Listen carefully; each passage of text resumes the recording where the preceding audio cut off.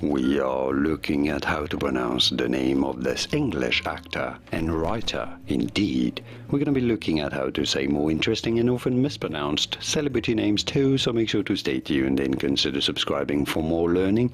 He is particularly famous for his roles in movies such as The Princess Bride or Robin Hood in 1993 or The Crush or Saw. How do you say his name? Cary Elwes. Elwes. Elwes. Pretty straightforward once you know Cary Elwes. And now you know Elwes. And now you know. Here are more videos on how to pronounce more interesting names of celebrities whose pronunciations aren't always obvious. I'll see you there to learn more. Thanks for watching.